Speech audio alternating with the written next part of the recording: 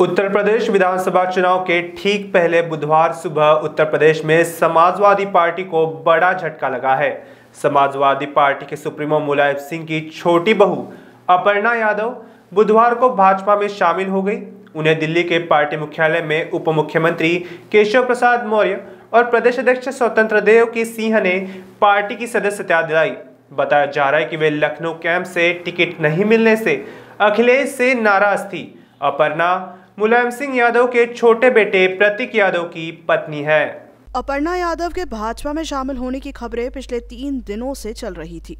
कहा जा रहा था कि परिवार में सब कुछ ठीक है। चाचा शिवपाल ने भी अपर्णा को परिवार की पार्टी में रहने की सलाह दी थी। साथ ही अखिलेश ने भी कहा था कि परिवार में सब ठीक है।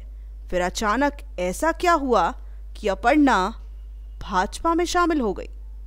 अपर्णा यादव के भाजपा में शामिल होने के पीछे अखिलेश यादव का वो फैसला है, जिसने परिवार में भूचाल ला दिया।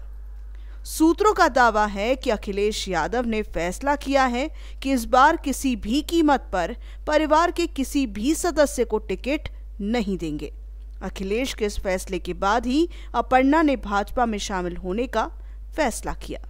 जब अपर्णा की भाजपा ज्वाइन करने की बात शुरू हुई तो फिर परिवार में कलह मच गया। और अपर्णा ने अपना फैसला टाल दिया। कहा गया कि अब अपर्णा परिवार और पार्टी में ही रहेंगी।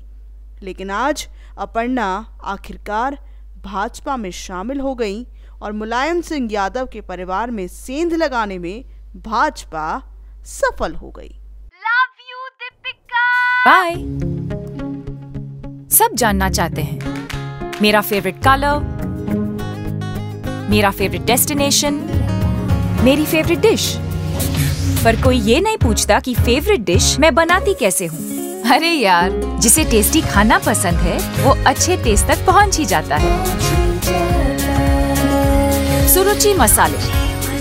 खाने में हो रुचि तो घर लाइए सुरुचि।